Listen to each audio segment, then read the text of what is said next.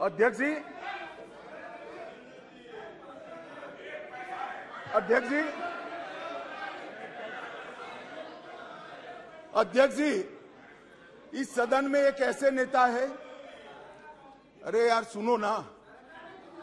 इस सदन में एक ऐसे नेता है जिनको आज तक तेरह बार राजनीति में लॉन्च किया गया है।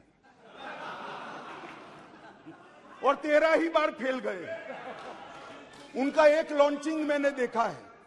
उनका एक लॉन्चिंग यहाँ सदन में हुआ था। अमित शाह जी अपने बेटे अभी तक लॉन्च नहीं कर पाए